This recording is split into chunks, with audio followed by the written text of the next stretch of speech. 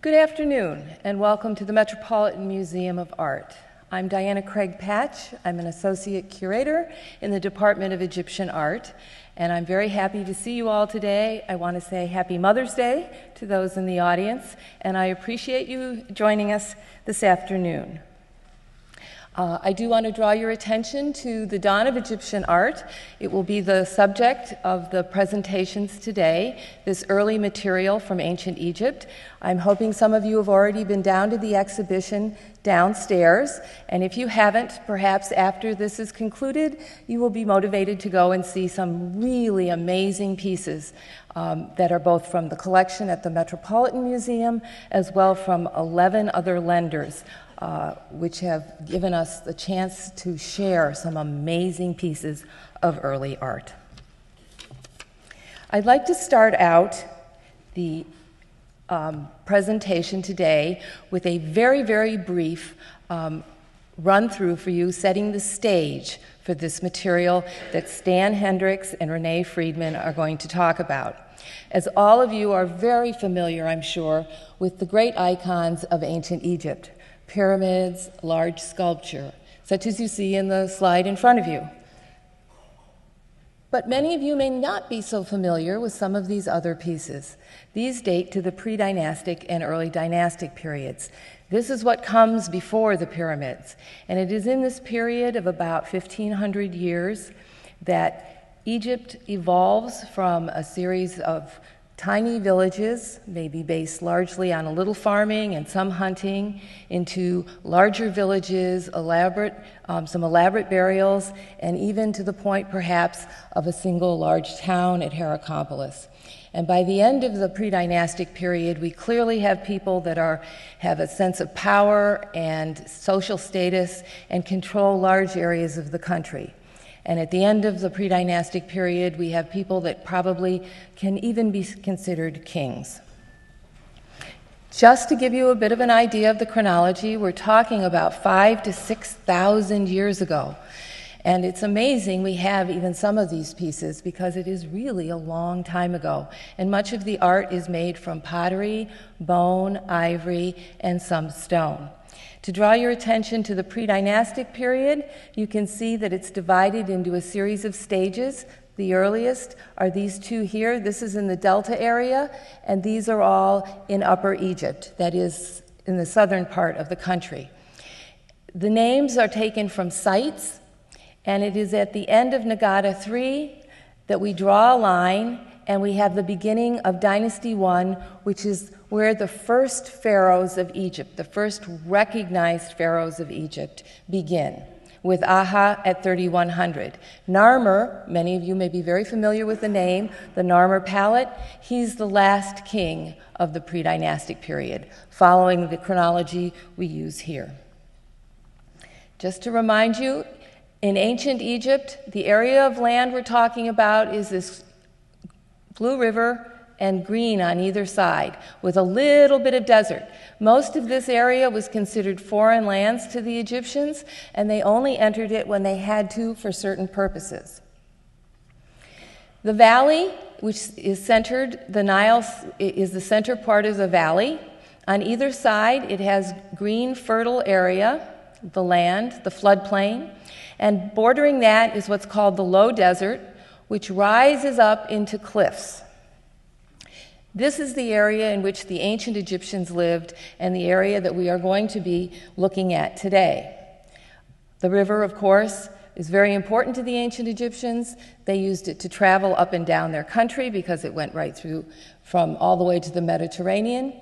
It was the source of flooding every year that spilled over onto the floodplain and allowed them to have very good crop yield every year. It allowed them to support herds of sheep and goat and cattle.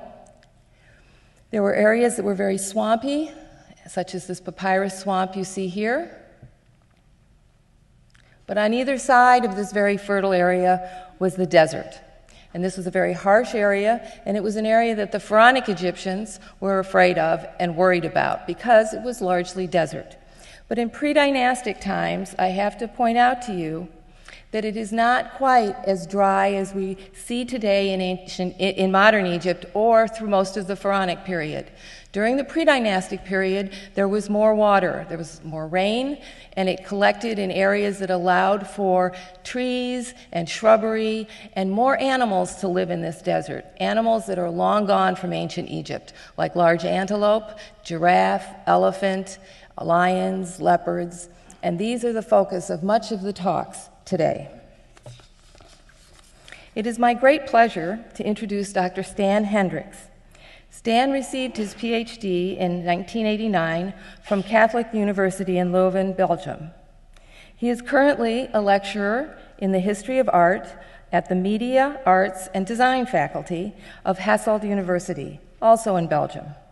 Since 1977, he has participated in excavations and surveys at El Kab, Adaima, Magar Dendera, Deir al Barsha, Hierakonpolis, Abu Balas Trail, the Khufu region, and the Komombo and Aswan survey. In addition to his being a master at the analysis of ancient Egyptian ceramics, his research focuses on the pre dynastic period, up to the end of the Old Kingdom. He has published extensively and edits the analytical bibliography of the prehistory and early dynastic period of Egypt and northern Sudan, which he updates yearly in Archéo-Nil. Stan is going to present Hunting in Pre-Dynastic Egypt. I'm delighted to welcome Stan Hendrickx.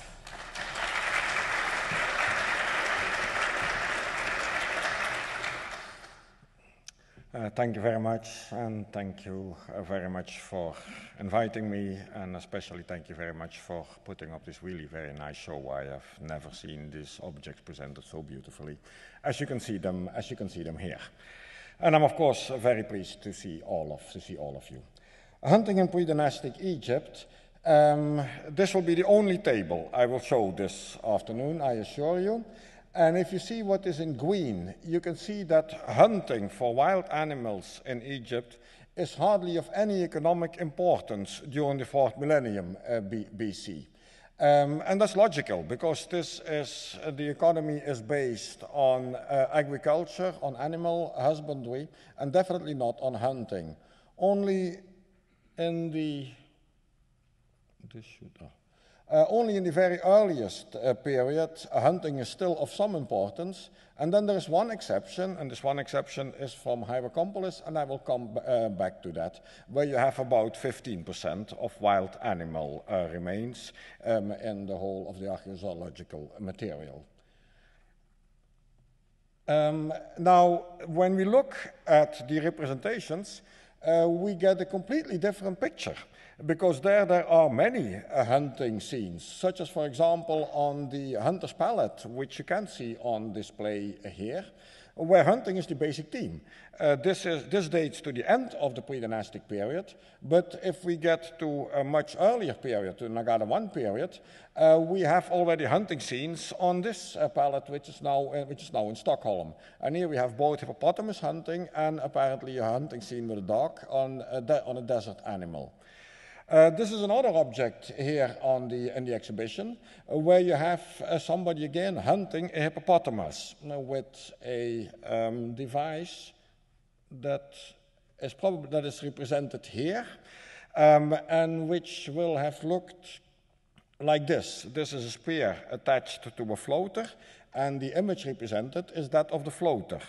So, as in many hunting scenes um, uh, from pre-dynastic Egypt, the actual hunter, as the man, is not represented, but it's the hunting devices, or as we will see for the desert hunt, it will be, it will be the dogs.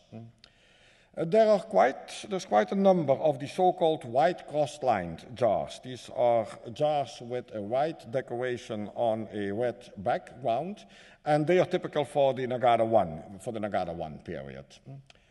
Um, and the importance of these hippopotamus representations is it's, it's, so much, it's so important that I am absolutely convinced that even when you have the individual hippopotamus without a hunter, without the hunting devices, it still refers to the same concept of hunting, of hunting hippopotamus. And these are just a number of the examples I'm showing, such as on this jar in Lyon, where the decoration is almost entirely gone, but where we could restore it in, uh, do the restoration in drawing. Now, uh, taking, uh, starting from there, uh, there are a number of really exceptional objects. Uh, this is a tomb that was excavated by the German Archaeological Institute about 15 years ago, and uh, from it are two really extraordinary jars, which, uh, which will come up both in my talk, but here's the first one. And, and the lower part, we have again a hippopotamus hunt. Um, and the hippopotamus are even represented as pregnant in these images. But the combination with the scene above is of great interest because above we have a large central person holding a mace head and attached to um, uh, behind him are prisoners which are bound by their neck and which have rather bewildered hair. Now, there is a very good parallel. This does not work as I would, yeah. Um, there's a very good parallel for this, for this scene, which come from a tomb in which this figurine is found, and I indicated it for your convenience. Uh, this hippopotamus has been hit at the back of the head. There is an incision in this figurine. But from the same tomb comes this jar. And it seems that we have the same idea of a combination of a hippopotamus hunt and a scene which is, which we have the jar here, but we, what we really need is the drawing of this jar, which is to be accepted as a victory scene. We have again uh, tall people holding very large mace heads, and in front of them and below them are people with their arms um, tied behind their back, and are even pregnant women among, among them. This is obvious about domination of persons, and there is a clear parallel in, for example, this little mace head from Hierakonpolis, where you have rows of prisoners bound, bound together. Uh, to be absolutely sure, the white cross-lined jar will date to about 3700 BC. This here will date to about 3000 BC. But it's the same ID, but over a very long, over a very long time. Also on display here is a jar that comes from the museum in Brussels, and which is one of the earliest known examples of this type of, of, this type of vessels. And if I um, indicate a few things, the large persons have their arms raised.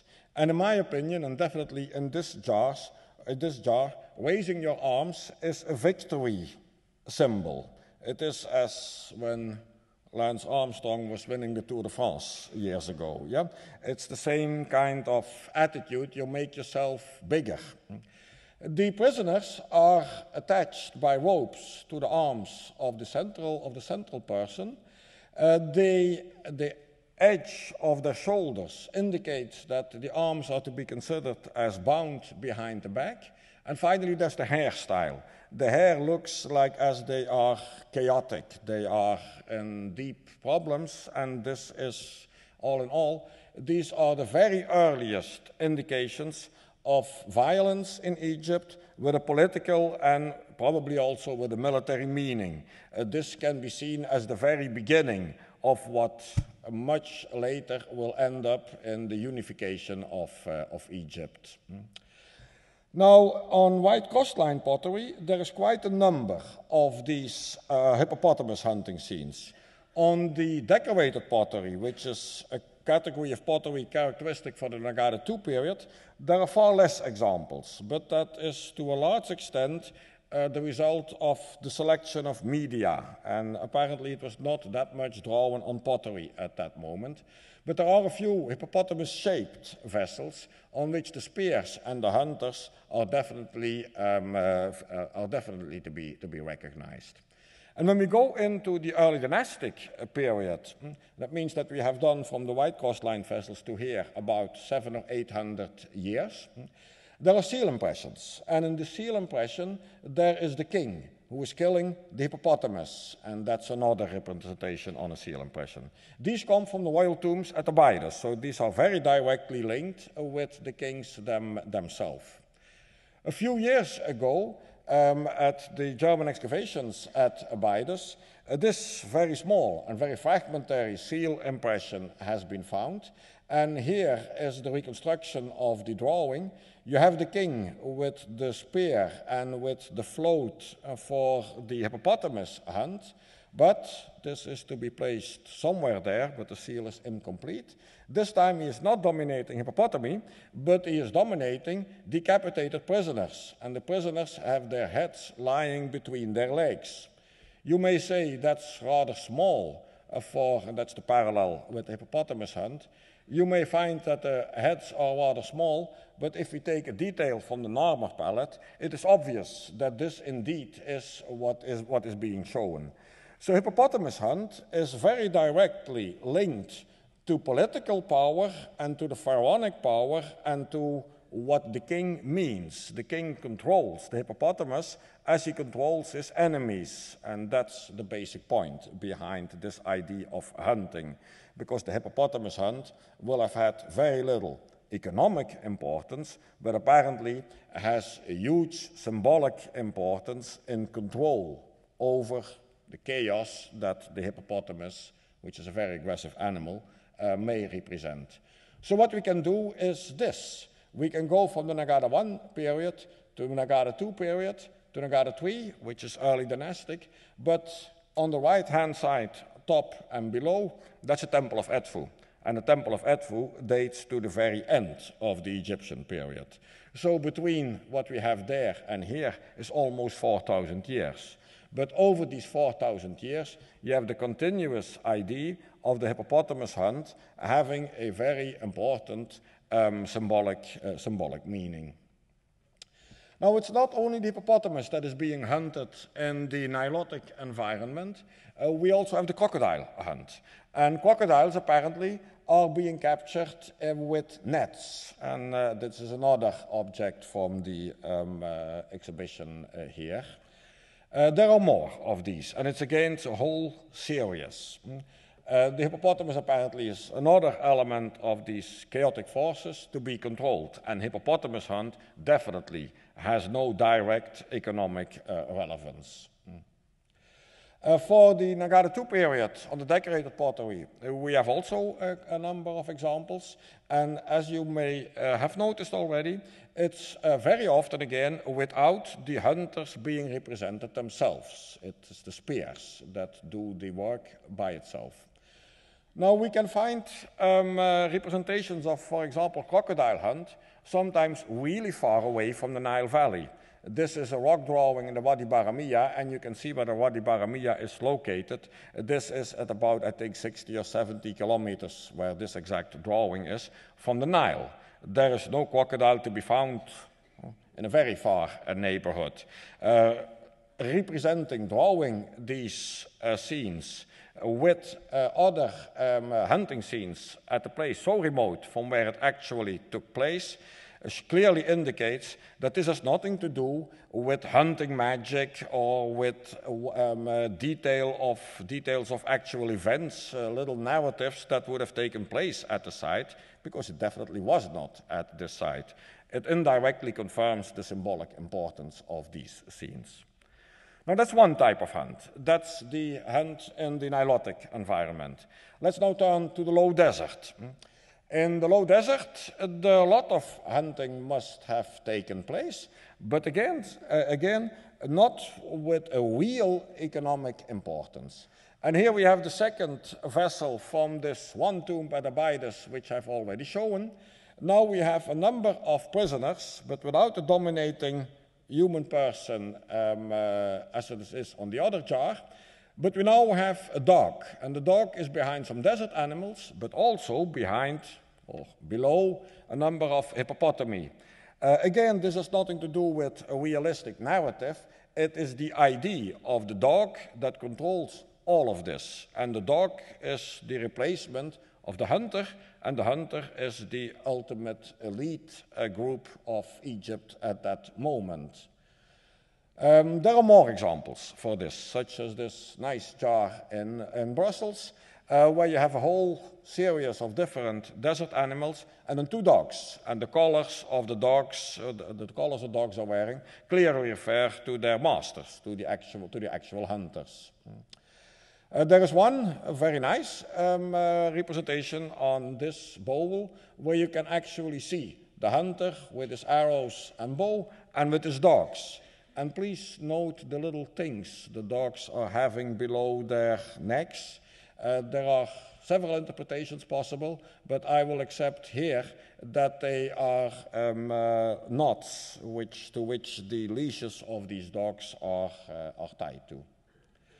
For the Nagada uh, 2 period, we have a few um, hunting scenes in the desert, such as these. And the importance of dogs is anyhow obvious in Egypt. There are several burials of, uh, of dogs, and even with pottery, uh, these animals were of relevance. Now, for the, uh, to have a better look of what hunting in this period means, we have to go to a very famous um, uh, um, element of pre-dynastic Egypt. That's the so-called decorated tomb at Hierakonpolis, discovered at the end of the 19th century, where you have this large painted, uh, painted scene. And uh, one of the desert of the hunting techniques is by chasing dogs mm, behind these wild animals. So uh, the, it is kind of, well, tempting to consider this as a little detail of somebody sending off his dogs. But I think you, can, you should not do that because there are no little narratives in these, uh, in these uh, representations. These representations work with iconographic, you can almost say emblems, as it would be for much more recent, for much more recent painting. And this is the idea of the power again, as we have the raised arms in the um, victory scenes. Other techniques of hunting are on the left this time, are with traps.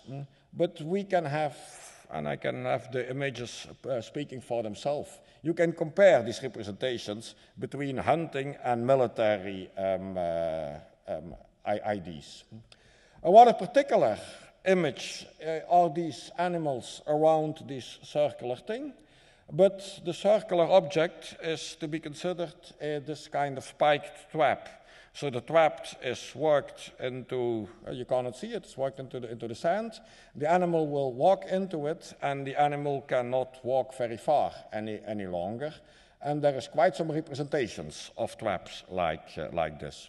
What you actually do in the desert when you go and hunt is you don't kill animals, you capture animals. Already for a very simple reason. If you kill them, you have, will have to carry them. If you capture them, they can walk themselves out of the, out of the desert, which is a lot easier, of course. So there's a lot of lassoing going on uh, to capture animals, and we have it on the Hierakonpolis um, uh, painting, but we have it in an enormous amount of rock art representations of which you can see just a few here. Um, remarkably, neither on the pottery nor on the very, very frequent uh, rock art images are animals actually being killed. Uh, at the very most, somebody is holding his arrow and pointing at it. And these are the only two clear examples I know about, among uh, literally hundreds of rock art drawings. So it's capturing animals. That's the important thing.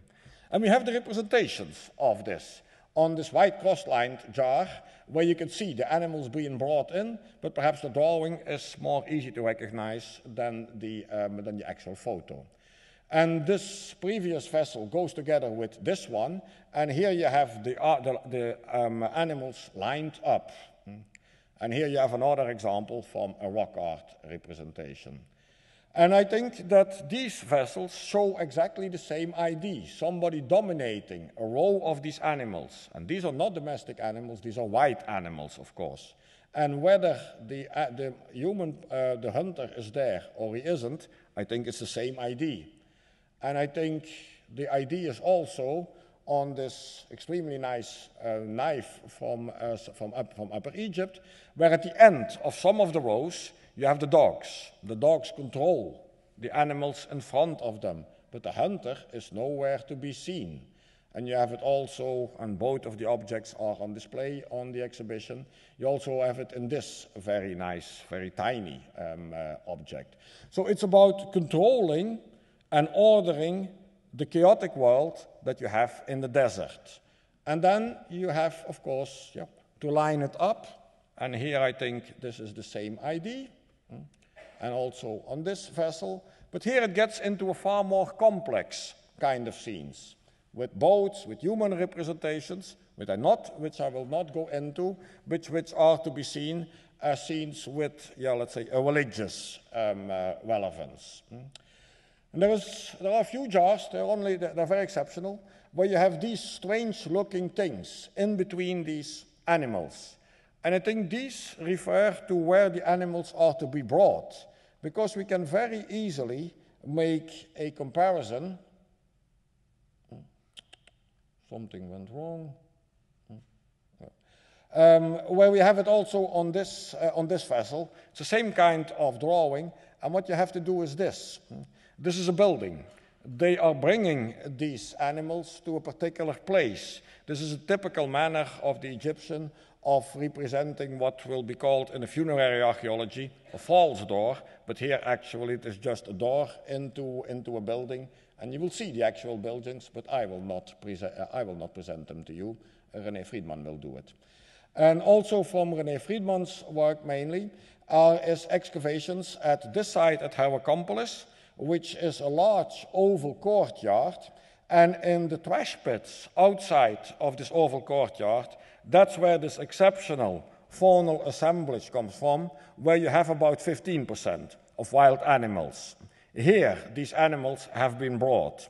Here, they have been slaughtered at the right moment and the right occasion, and the right occasion will have been particularly important social religious uh, feasts.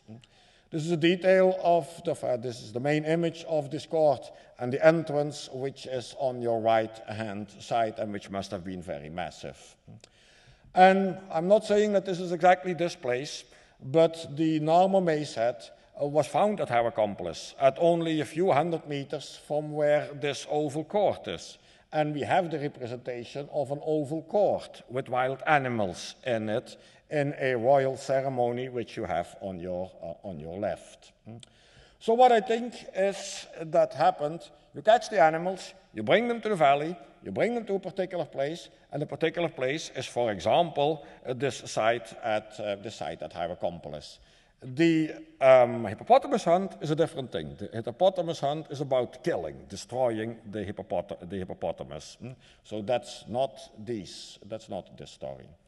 Now we have an idea about actual hunter, hunting parties. Here you have the hunters mm, surrounding uh, a, a, whole number of wild animals, but on top of the hunter's palette is this building, and next to this building is an animal that doesn't exist, a double, a double bull. But we know that this double bull is also an emblem. So the double bull must identify the building and places the whole of the hunting scene on the hunter's palettes into a religious context. The hunters themselves are also very remarkable. They are wearing tails at the back of their, um, uh, of their skirt. And the tails, there's a bunch of them. Uh, you can find these tails on these animals. Uh, and we may perhaps already have them, but the details are not sufficient, on these Abydos jars, which we have seen before. Now, this animal, we know this animal. This animal occurs on several of the late pre-dynastic palettes. This animal is the, the, the Lycaon pictus. The, I had to say it like that. Uh, yes, I say it correctly. It's the African wild hunting dog. It's not a dog, it's a, a species by itself. This is an extremely uh, well organized hunter, hunts in packs and attacks from both sides on its, uh, on its prey. Uh, they are very, very, they're very organized, and apparently the Egyptian hunter compared himself with the hunting of these, of, uh, of, of, these animals. Uh, you have some images of them, uh, of, the, of them here. Um, uh, and the um, composition of the hunter's palette is paralleled by the way in which the Lycaon pictus dominates on other, on other palettes. There is a clear, there is a clear parallelism. And we also have other hunting um, uh, groups. Here it comes from a rock art panel, and the things in red are more probably ropes to capture animals. And the dogs are in blue, while in um, green is a Barbary sheep, as you have it also on this vessel. and as we have it on a number of other objects. And these hunters mm, are here in a scene that comes from the same place. They have decorations, tattoos, or decorations on their clothes with hippopotamus hunt. So it is linked. Desert hunt and hippopotamus hunt are linked to, are linked to each other, and this is a detail of, um, of this. Now, to show you the real impact of these uh, hunting scenes, we have to go into the western desert. Here you are at several hundred kilometers from the Nile Valley, um, even east of the Dakhla Oasis, and this comes from the work of the University of Cologne, in, Cologne, in which I participated. And at some place, there is this very isolated but very notable rock. And on this rock are several panels with drawings uh, which are being copied here. And the result of this work, well, you have it here. This is Barbary sheep hunting and or oryx hunting. These are the biggest animals which you can find in the, um, uh, in the desert. And apparently they went a very long way to go after them. Uh, now, the, draw, the date of these drawings are difficult, but I draw your attention to the knot, uh, uh, knob at the back of the dogs, which we have seen before, and for example, uh, below or above the neck of the dog on these two, um, on these two documents. Now, the um, uh, Western Desert drawings are not pre-dynastic. They are early dynastic at the very earliest, and they more probably date to the very beginning of the Old, uh, of the old Kingdom. Uh, oh, I missed one there. I tried to uh, show that Barbary sheep hunting is a very popular theme, again, on the uh, white cross-lined vessels. There's another place, also in the Western Desert, not far from the previous one, where there's a shelter. In the shelter, there's an isolated block which is now brought to a magazine. We have a falcon, and the falcon will help us to date this because the position of the falcon with that kind of tail, you only find it from about the middle of the first dynasty onwards, so it has to be more recent and is um, early dynastic or early in the, old, in the Old Kingdom. But what is of interest to us is that again there is the hunting of Barbary sheep, hmm, but there are two very yeah, strange devices, but these strange devices, we can also find them in the Hierakonpolis painting. And I don't know what they exactly mean, but you have these little knobs of them, and they must be traps of some kind, hmm, but at a very remote place in the desert. I'm coming back to the Nile Valley. Uh, here we are in the extreme south of Egypt, next to Aswan, uh, where some important work is going on during the last few years. Hmm.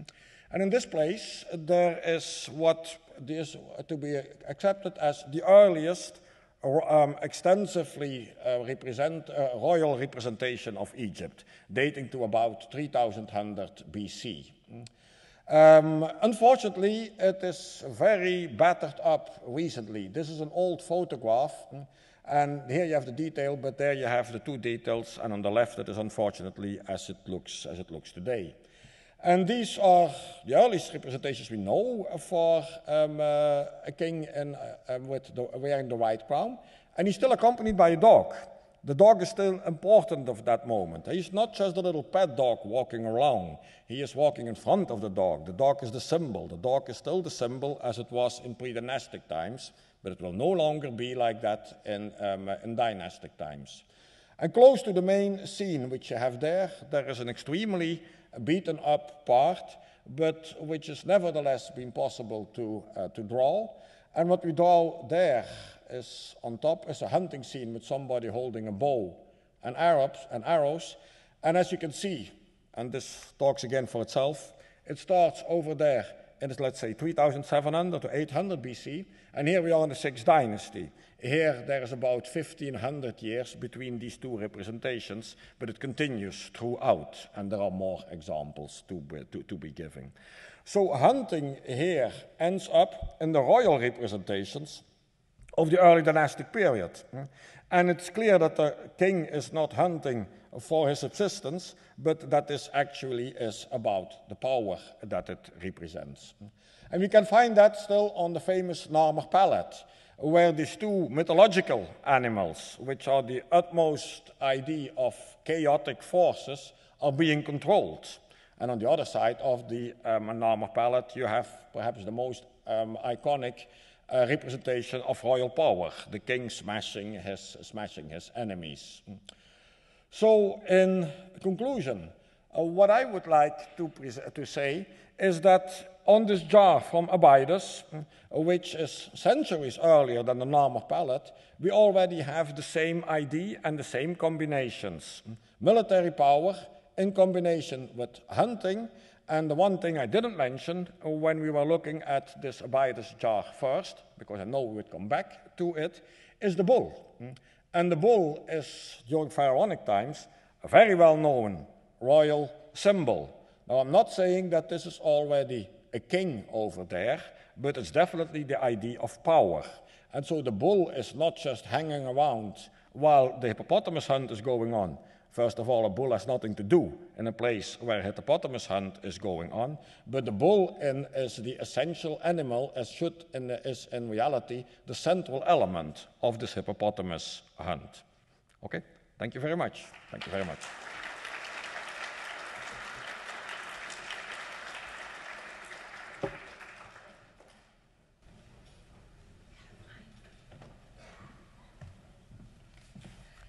Thank you, Stan, for that great lecture on early pre-dynastic hunting. There was all sorts of things that I hadn't seen before or thought about, and so it was very interesting to hear that. I'd like to now introduce um, to you today Dr. Renée Friedman.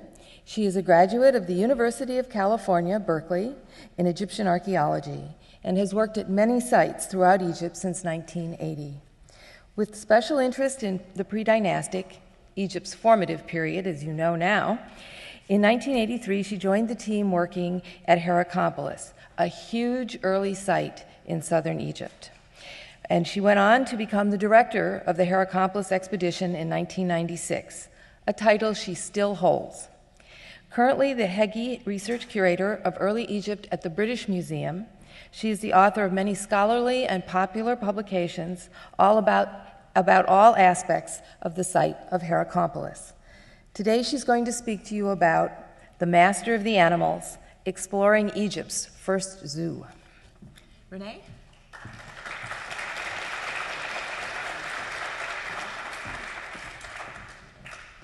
Thank you. It's uh, wonderful to be here this afternoon and tell you to tell you a little bit about our work at the site of Hierakonpolis. We just finished our season six weeks ago, so you're going to have the benefit of breaking news. So, as um, Stan has already shown you, um, the animal based iconography of the pre dynastic period, with its stress on hunting and the control of animals, had an important ritual and increasingly political significance for the elite in this formative period of the Egyptian state. Um, that this imagery is derived from the actual manipulation of real animals is nowhere made more clear than at Hierakonpolis one of the power centers at this time, and no doubt one of the largest, with settlement remains, excuse me, settlement remains spreading over the low desert for a distance of about two miles. Now, Stan has already discussed or shown you the early temple at the site, uh, where everybody okay? okay. So, Stan has already shown you um, the early temple at the site where quantities of animals both domestic and wild, were sacrificed in rites probably associated with the coming of the Nile flood um, to control its potential chaos and to ensure the rebirth of the land. But this is not the only place where animals, and especially wild animals, played a role. In the exclusive cemetery of the elite, located up the Wadi, animals were again used, not only to ensure the rebirth of the local rulers, but also to proclaim their power in this life and the next. Now, in its time, this cemetery must have been amazing. At its center stood a precinct of wooden structures, which took the form of multicolored, multi-columned, or better known what we call architecturally hypostyle halls. And this is the earliest evidence for above ground funerary architecture in Egypt. And as Egypt's earliest funerary temples, whoops, as Egypt's earliest funerary temples, we can potentially, uh, can we get it to run? Hello? Is there anybody here? Okay, there we go. We can potentially, if not too fancifully, reconstruct them like this made out of wood, hanging with mats, um, surrounded with color. And these provide us with a glimpse at an elaborate mortuary landscape previously unsuspected for this time. Now, that the imagery of the hunt was important in the rituals undertaken in these structures is made clear by the beautiful objects we found within them. We have wonderfully crafted knives, arrowheads, and animals masterfully created out of flint and ivory, um, amongst many other things, specialized pottery, handles for mace heads, etc. But all of these relate to power and the hunt. And, but these are ex- certainly exquisite objects, to be sure. But for the actual burials of the elite, as we now know, only the real thing would do. And this we've learned from the excavation of the large and rich tomb we call Tomb 16 which dates to the early Nagada II period, so about 3650 BC. Now, although a brick-lined tomb was inserted into it about 500 years later, probably as a pious act of renovation, it was still possible to determine the original, rather sizable dimensions of the tomb, and also get some measure of its original wealth. Despite its plundering and reuse, it was still a very rich tomb, containing a huge amount of pottery. Over 115 vessels have been recorded from it, including one incised with the earliest known um, image of the goddess Bat, who will later be replaced by Hathor as um, one of the chief cow goddesses of Egypt. Two of the best preserved um, ceramic funerary masks, known exclusively from the cemetery, almost certainly come from this tomb. And you'll see the cast of this one. Whoops. I'm having a very hard time here. I've done something. Um, anyway, a cast of, I don't know what's, hello? Okay. A cast of the mask is um, on uh, display downstairs.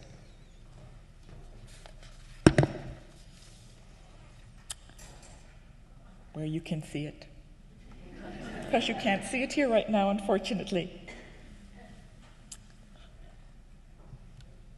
I don't know. Okay.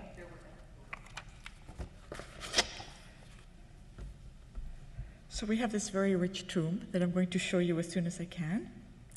And it had um, many interesting things with it, which I can describe to you, but it might be easier if we can actually see it.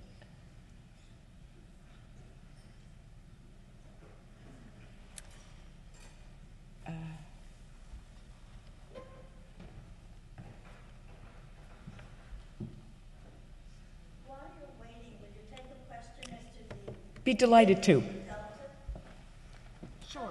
How wide is the delta floodplain? How, how wide is the delta floodplain?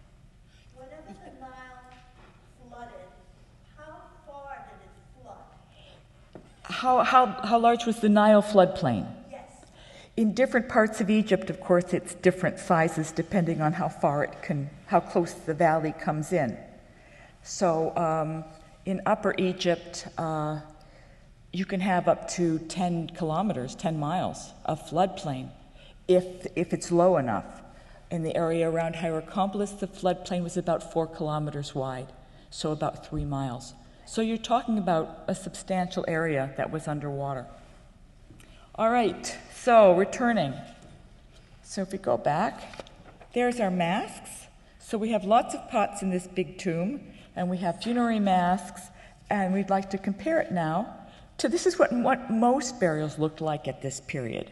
You had mat covering with some pots in a pit, only large enough to cover to, to fit the body in.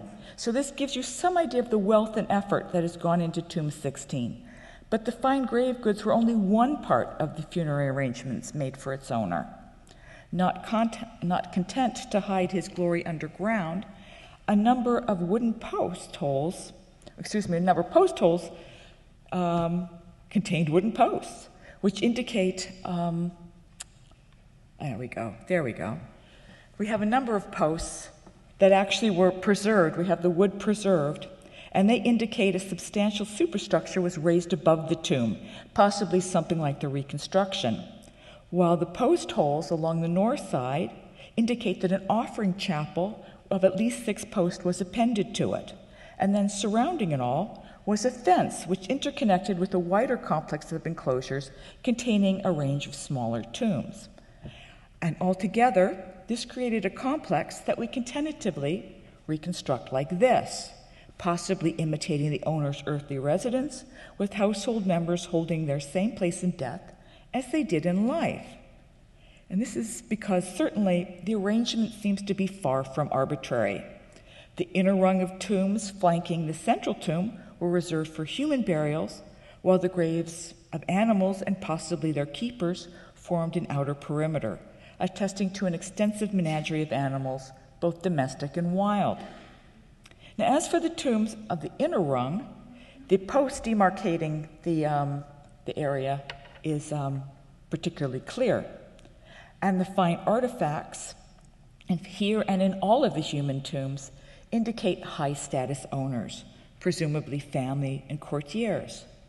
But amongst them, um, the most favored seems to have been a male achondroplastic dwarf.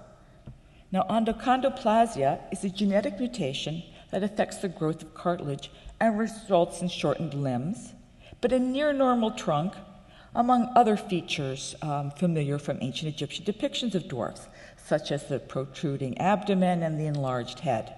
Now, our dwarf stood just under four feet tall, uh, but his legs were incredibly stunted as well as twisted, so that the stance of this early dynastic dwarf figurine from Tell el-Farkha is probably no exaggeration. He probably did stand that bow legged. And while female dwarfs are much more common among the predynastic ivories, possibly due to their association with fertility and childbirth or ritual dancing, in the court of the First Dynasty kings, it was male dwarves that were honored by burial amongst the retainers around the royal tombs and commemorated with high quality stela, showing that they were valued personal attendants as they would continue to be in the Old Kingdom. But there are already several indications that our dwarf was already a very highly valued companion. Foremost amongst them is the location of his grave, which was beneath the floor of the funerary chapel appended to the tomb. Now, burial here seems to be an incredible honor, associating the dwarf intimately with the owner of Tomb 16 in death, as he no doubt was in life. This possible portrait further suggests recognition of the dwarf. Now, although it was found on the surface, this remarkable piece may well represent our dwarf with his bowed legs and his short little arms. And this is the only flint figurine in human form known to me. And the care with which the stone has been chosen to provide him with the sash across the abdomen and a little kilt is really quite remarkable.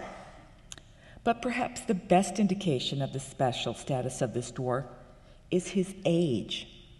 At approximately 40 years of age, he is the oldest person in the tomb complex, although it must be noted that we have a very poor idea of the age of the owner of Tomb 16, as so little skeletal material was recovered. However, from the other inhumations, we can get a pretty good idea of the demographic, and it is far from normal. No one is younger than eight, and no one else can be confidently aged over 30 years of age. The sample is still limited, but it strongly suggests that few, if any, of them died of natural causes.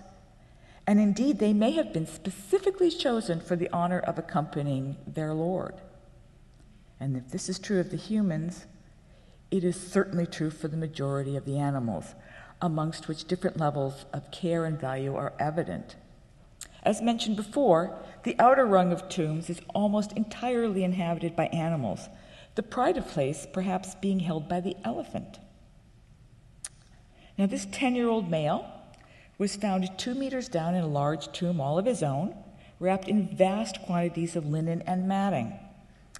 A radiocarbon date on his well preserved bones proved that he is an old elephant. Um, he's got an age that is, works out just perfectly with our ceramic dating, the date we would have gotten from, um, from dating the pottery from the general um, complex. So this is the early Nagada 2 period, late Nagada 1 period.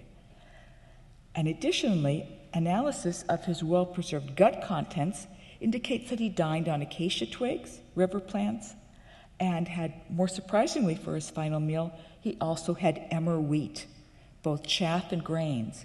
Now, emmer wheat is people food, and this is the kind. This is was the main bulk food um, for the population.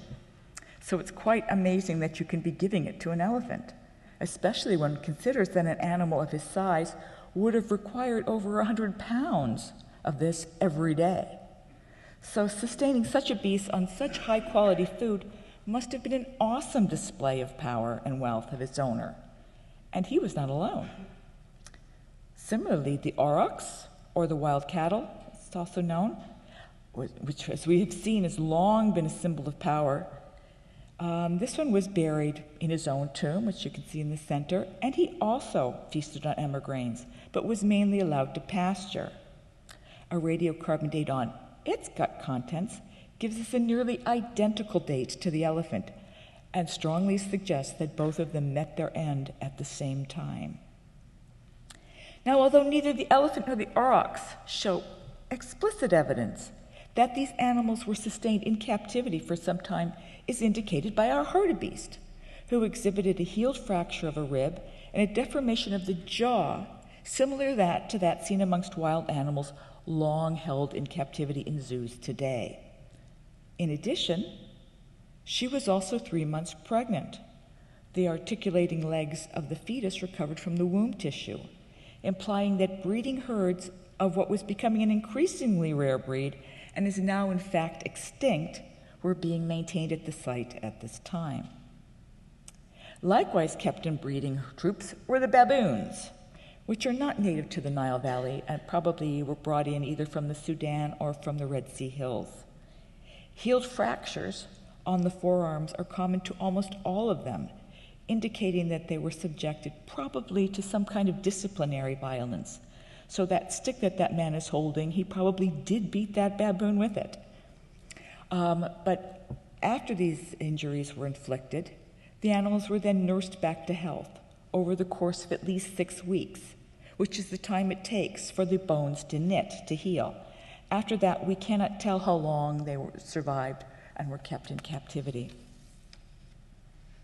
Acquired closer to home was a four month old hippopotamus. Now, although its tomb was badly disturbed, almost the entire skeleton was recovered. And amongst the bones, a healed fracture on the lower leg indicates that this young hippo was probably tied to a tree and held in captivity for several weeks before its death breaking its own leg as it strained to get free. Now, as we've seen from Stan, the hippo hunt was a symbolic act of great bravery. And hippos being protective, ferociously protective mothers, the live capture of a baby hippo must have been recognized as even a greater feat, especially to judge from the trouble taken on some depictions to add the offspring, to add the babies, either born or unborn. So, although it was a small animal that we have in the cemetery, it was packed with um, lots of meaning.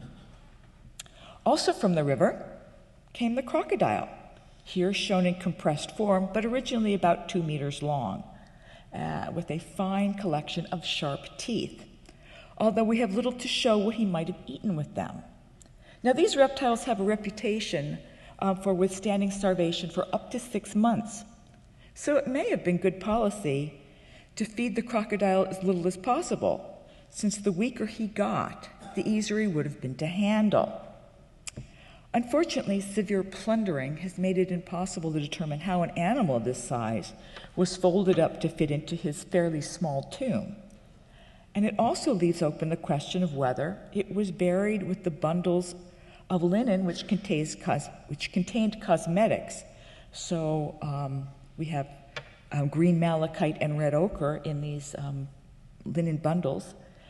that were found near the tomb. We also have a collection of mud beads that were also found almost directly above the tomb. Now, we can't be sure because of plundering whether they belong to this tomb. However, I think you would have to starve the crocodile for a very long time before you could try to play dress up with it. Um, so, this may have been what, so potentially these may just be votive objects um, uh, given later rather than your, your dress up kit for your crocodile. In fact, the only unambiguous evidence we have for actually giving gifts to the animals are these two pots that were found in situ within the burial of three dogs. Now, dogs are by far the best represented species in the cemetery. We have 25 specimens in seven different graves, and most of them were fairly large, high quality animals. Interspersed around the complex, they may have served as hunters, herders, or controllers of the other animals, and especially the wild animals in the second rung, um, which can be considered statements on the power of their owner. But the dogs probably also herded the domestic animals, which inhabited the outer margins, which appeared to be expressions of his ostentation and excess. Now, the sacrifice, the sacrifice of valuable assets, is visible in the burial of one old bull who was given a large tomb of his own, as well as the tomb containing the cow with her calf between her legs. But these are nothing compared to tomb 49. The excavation of about only one third of this long trench like tomb in 2011 revealed eight cattle, buried whole and unbutchered, all under two years of age, and thus prime food. Since the tomb measured about 45 feet long, we estimated that this tomb could have contained about 20 heads of cattle, a huge uh, expenditure of resource. But when we returned to excavate this, the rest of this tomb this season, we found the sadly disturbed remains of four more cattle, but the rest of the tomb was empty. So, whether somebody promised more than they could deliver, or it was meant to be added to over time, or simply that somebody's excavated it before us, remains unclear. But it was a lot of work for not very much pay. Um, also unclear is to whom these 12 cattle, still not an insignificant number of cattle, it's still unclear exactly who they belong to. They could be part of the Tomb 16 complex, or just as easily part of a complex, another complex to the south, since, as we now know, the owner of Tomb 16 wasn't the only one to say it with animals. During our 2012 season, which, as I said, just ended six weeks ago, we investigated a set of tombs due east of Tomb 16, which appears to belong to a completely different complex, probably just a little later in time, uh, perhaps maybe just a generation later, is all. Now, conclusions about this new area must remain preliminary, as we have not yet been able to find the main burial, though I do have a pretty good idea where it is. Actually, it could be one of two places. It's either here, uh, where we have this massive crater, indicating that we will certainly not be the first one to examine it, or here, which is under our back dirt pile, proving that archaeological truism that wherever you put your dirt, you will have to move it. Whatever the case, we certainly have our work cut out for us. But so far, we've been able to examine 10 graves in this new complex, revealing a reassuring range of similarities, but also an, increase, an intriguing range of differences. We were initially led to this spot by the chance discovery of this tomb, whose occupant left us clear indications of his identity. In fact, we were able to recover all 18 of the claws and more of this large male leopard. A particularly fine specimen, I have been informed he is even larger than the one shown here, which is already billed on the internet as a leopard of exceptional size. Now, the prowess of the le- leopard was well recognized in the art of the later pre dynastic period, and such a specimen must have been an incredible trophy, especially considering the significance that the leopard skin probably already had, being a badge of office and of bravery at this time. keeping the leopard company. The other animals in the area include a troop of six baboons, and another oryx who left behind this rather keen oryx shaped hole, another crocodile, and the remains of a young ostrich, the only actual bones of this bird to be known from pre-dynastic Upper Egypt. So, despite the number of times the ostrich is depicted in art, we have very few, we have none until now, actual physical remains of, of ostriches other than their eggs. But the really big surprise of this season came from the domestic animals as well as the human graves.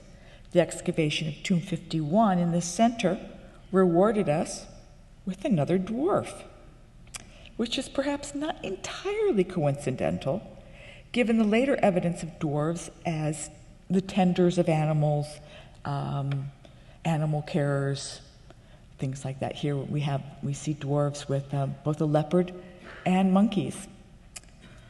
Now this new dwarf from our from Tomb 51 is about four inches taller than the one we had previously, but equally as twisted, if not more so. And when you consider the occurrence of dwarves is only about one in approximately 30,000 births, the presence of two dwarfs in the cemetery is quite remarkable and suggests that they are either importing them, like the exotic animals, or that these two dwarfs are related, since the offspring of dwarfs, and there's a 50% chance of dwarfism. So, should we ever be allowed to do DNA studies in Egypt, it would be really fascinating to determine the relationship between these two dwarfs, as well as their relationship um, to the adult female and two children also found in Tomb 51. A further revelation was waiting for us amongst the domestic animals, which so far is composed entirely of sheep. And this is the first time we have found sheep in the cemetery. Six were carefully laid out in this tomb, and two more in two others. The preservation of the actual horn shows that they belong to the corkscrew horn variety known from Old Kingdom agricultural scenes. But these sheep are remarkably rare in pre dynastic art, probably because they were relatively scarce in Upper Egypt, where they're outnumbered by goats uh, by more than three to one amongst the settlement remains that we have. Much more common in the north, they are among the prizes gathered up on the so called Libya tribute palette. But their relative rarity is only one of several reasons to suggest that our sheep are more than just mutton chops for the next life. All are extremely large specimens, um, standing nearly three feet tall at the shoulder. But even more suggestive is the modification of their horns, so that instead of coming out of the sides of the heads, as is normal, and as you see here, in two cases, the horns have been trained to point straight up. So they look something like the drawing um, provided. Now, the modification of cow horns is attested from ancient Egypt. And that's not a problem.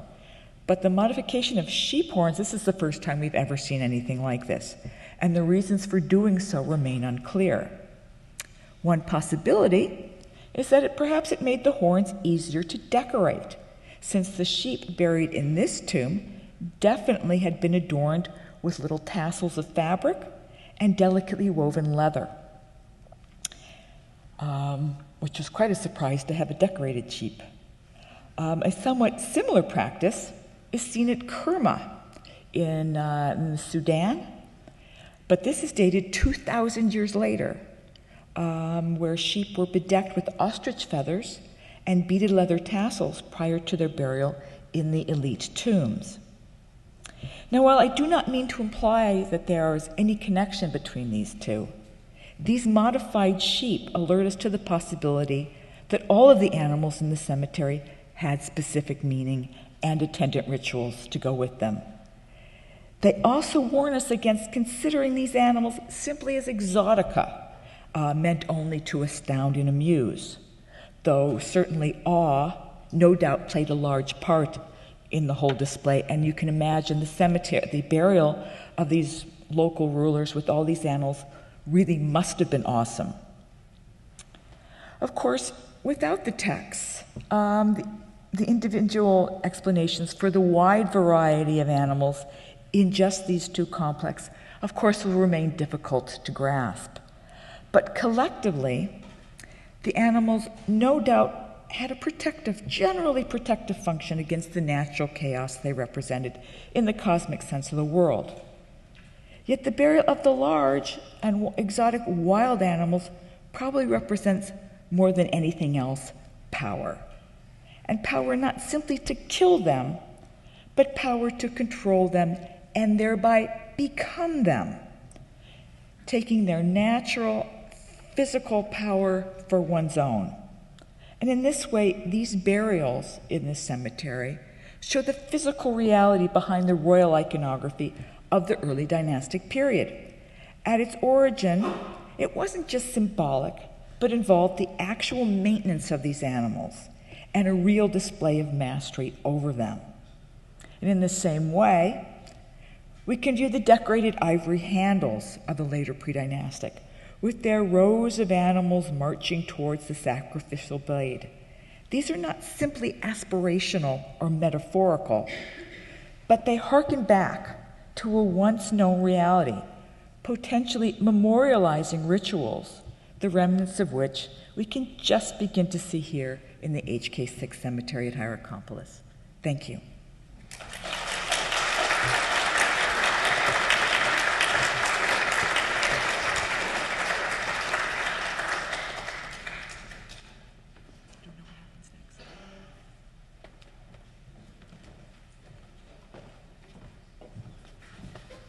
Thank you, Renée. That was great. Uh, we want some very interesting, different, and larger numbers of animals next year. Now I'd like to move just for a few minutes, it won't be for very long, into the period that's probably more familiar to you, just to show you that many of these ideas that take root in the pre dynastic that Stan and Renée presented continue on into the Pharaonic period. Differently, but the same you'll see many, many pieces of iconography that you will recognize now that we've spent so much time looking at the pre dynastic period. One of the goals of this exhibition, Dawn of Egyptian Art, was to bring to people's notice the complexity of pre dynastic and early dynastic culture and how that culture that evolved over 1500 years continued into the Pharaonic period, and that you can see these same themes that were established in pre dynastic and early dynastic Egypt in the time of the pharaohs, and that it really is a long period of continuity. It may not look exactly the same, but the themes are the same. Aha. You're not the only one who has trouble with the slide projector.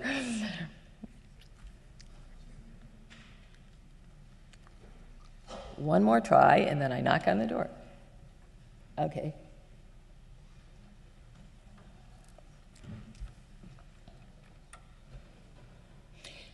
I'm going to just do a very brief um, flow through the next 3,000 years of Pharaonic history, very quickly, um, showing you images that uh, have to do with the desert and the Nile hunt, the hippo hunt, and the desert animal hunts, and how those um, shift over time in their importance and who is involved in that in, in using these images. Because interestingly it does change over time aha there we go so these two pieces the hippo hunt jar from the metropolitan which is downstairs and the desert um, hunt from the Ashmolean, which is also in the exhibition, cover these two um, uh, regions of the Nile Valley, the river, and the desert. Moving into the early dynastic period, that is dynasties 1 and 2, as you remember, this is the beginning of the first pharaohs that are documented in Egyptian history. We may have had some in the late pre dynastic, hard to tell. Narmer may have been a true pharaoh, but the ancient Egyptians start with Aha in Dynasty 1, and so that's where the line is drawn here. The two big sites from the early dynastic period are Saqqara, you recognize the step pyramid, and this is the uncovered tomb of Den at Abydos. There are some references to hunting in the early dynastic period. As you remember, Stan showed you a wonderful um, seal impression that, that showed Den harpooning a hippo. That's one. But here is another one. Why the hunt is represented on this amazing disc, you can see that it's been inlaid, and I show it because it's just a gorgeous piece of early dynastic art from the tomb of Hemaka at Saqqara, um, obviously, elite member of um, the royal household. You can see the dog tackling one of these antelope and there's another one about to get a second. So it's a hunt scene. What this disc is for, we have no idea. It's still not something that anyone agrees on. But it can hardly be something that isn't ritually oriented. The amazing quality of the workmanship suggests such. If you look at the contents of various pharaohs' tombs, you find large numbers of arrowheads and arrows. And I wonder if that doesn't have something to do with this idea of ritual hunting. As, you, as Stan made quite clear, wild animals do not make up the game, or I'm sorry, do not make up the food sources in um, uh, pre dynastic and early dynastic culture. It's domesticated animals. And it is not yet, um, hunting is not considered by Egyptologists to be a sport in these early periods, so it seems unlikely that's a reason. So you have arrows, and there's a, har- um, a spear. And also, one of these things that's just very interesting, totally odd, but again suggests the importance of wild animals, is a series of horns that have often been identified as rhino horns, although they're made from pottery and there were no rhinos left in Egypt. Um, this again suggests that you might, in looking around the contents of these early tombs, find pieces that refer to this early, um, to the ritual of, of, hunt, of desert hunting. At Saqqara, there is a new find, a relatively new find, that also suggests that this idea of hunting animals, in particular here, probably the hippo, is clearly connected to, to ritual interpretation and into very theoretical interpretation. At Saqqara, at the, at the precinct of Djoser's step pyramid, here is his step pyramid, there is a statue of King Djoser. Around his precinct, you can see there's the precinct, the funerary um, precinct, his tomb, and a whole uh, series of complex ritual buildings, there is what is being called a dry moat. It's basically um, a large channel that has been dug into the desert, and off this channel are a series of chambers. And one of these chambers, here's the chamber, it's called Corridor 1, contained a buried, it's, in it was an under a, a, group of animal bones and pottery, which might be from a slightly later date, the end of the sixth dynasty. Djoser is the third dynasty. There was a large case that contained a harpoon, a massive harpoon, which was decorated with a snake, two sna- I think two snakes. Now, I'm just bringing back to mind the, the um, discussion that Stan gave you of harpooning hippos, and he had that wonderful um, early image of a man with the harpoon. And the current interpretation of this dry moat with its various interesting little pockets of um, uh, different sized rooms containing odd elements of things is that they are ritually oriented. And, and they're interpreting it now as a way for the king to travel from his tomb, which was in the step pyramid, along this moat as he traveled through the underworld to get to the afterlife. And any of you that know about later um, uh, mythology in ancient Egypt know that, that that time period from when you died until you were reborn in the afterlife was a very dangerous one. It was one in which you met many enemies of the sun, and for a king, it was the most dangerous time of all. And the suggestion is that this buried harpoon has to do with harpooning the enemies of the sun god in, in this um, time period in which the king is moving towards the afterlife. And this would bring the same kind of ritual that we see in the pre dynastic period into a sort of more theoretical frame of reference by the Old Kingdom and by early on in the Old Kingdom.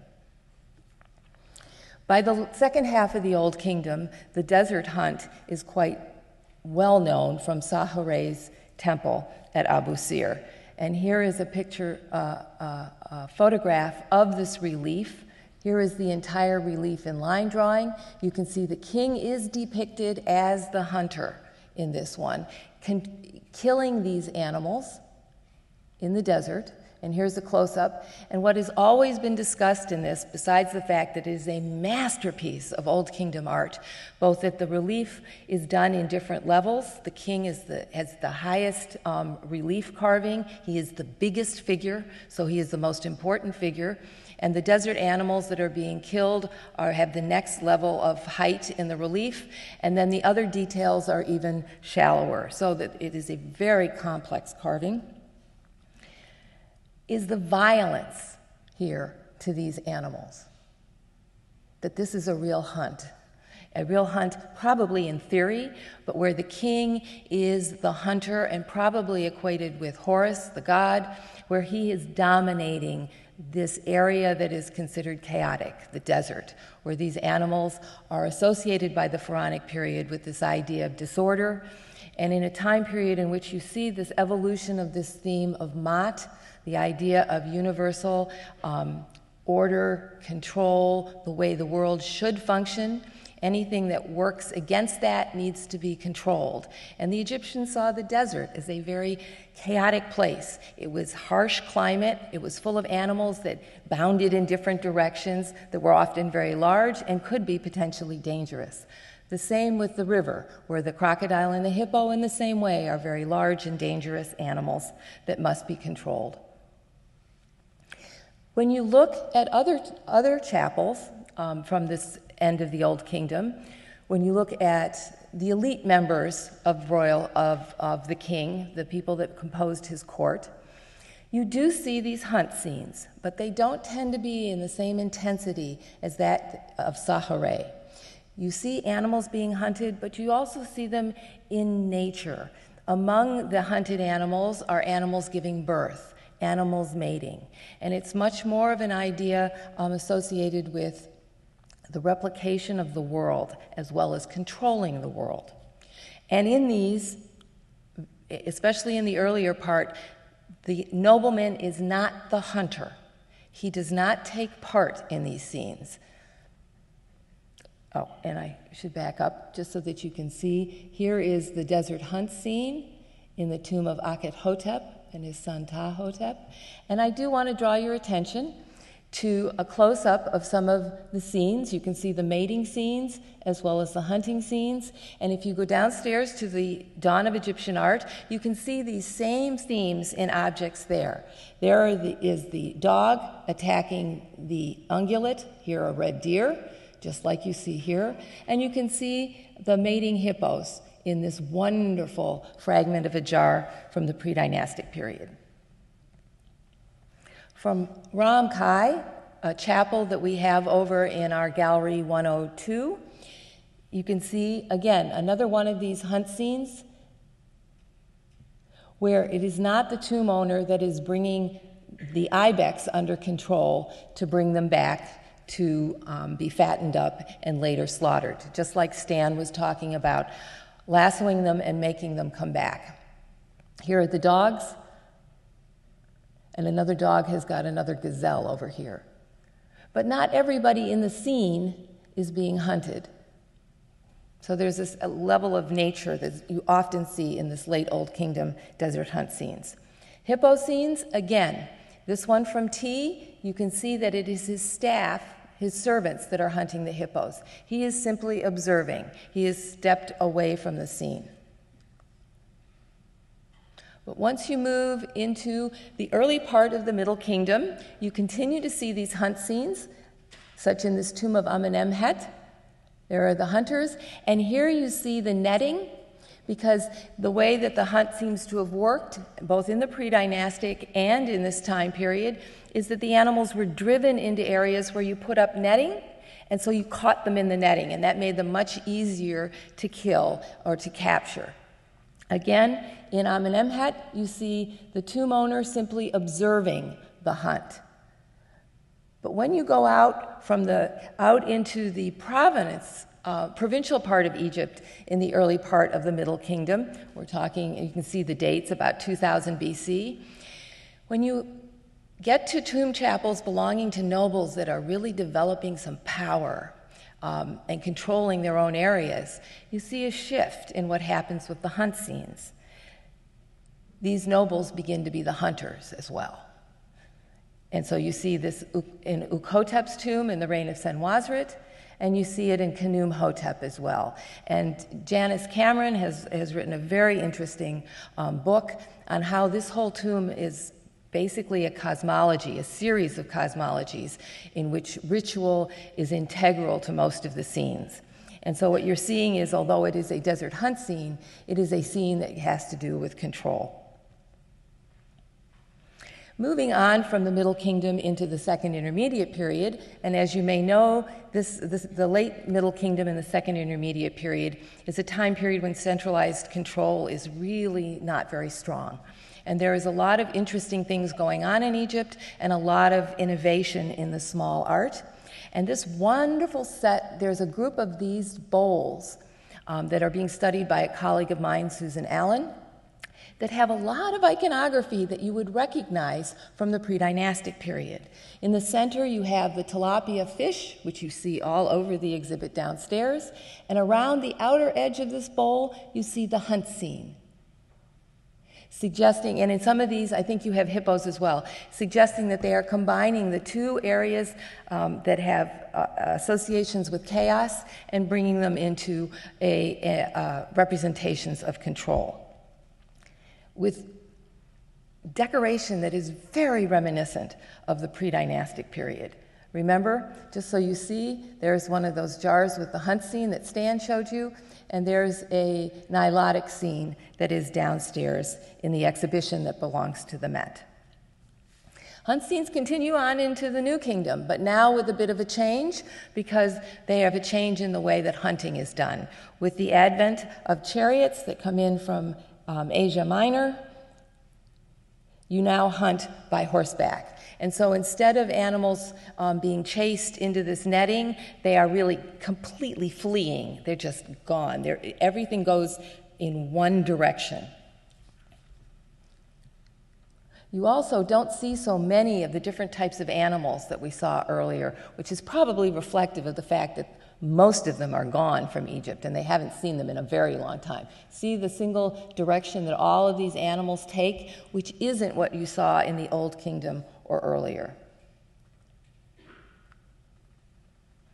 And of course, one of the best known hunt scenes comes from the Temple of Ramses III at Medinet Habu. Many of you have seen these. And he hunts here bulls, the wild auroch, probably what's left of them. They're almost probably pretty much gone there too. Um, but again, he's hunting them, as I remember, from chariots. Yes. But it's not just the desert scene. In Tutankhamun's tomb, he has a statuette, in fact, I think it's a pair, that show him with the harpoon and the uh, attachment. Remember that Stan showed you? And he is probably symbolically hunting hippo. It's, he was, these statuettes were found in shrines, and so they're very much a cultic thing. It has, it has everything to do with probably chasing the enemies of the sun god during this time period in the underworld as you're moving from his death into eternal life. And I just wanted to finish up, of course, with the same, with one of the slides that Stan showed you, so you'll remember it. This is from the temple of Edfu. Here we have Horus, the falcon headed god, the king of all gods, followed by his mother Isis. And you can see he's harpooning a hippo.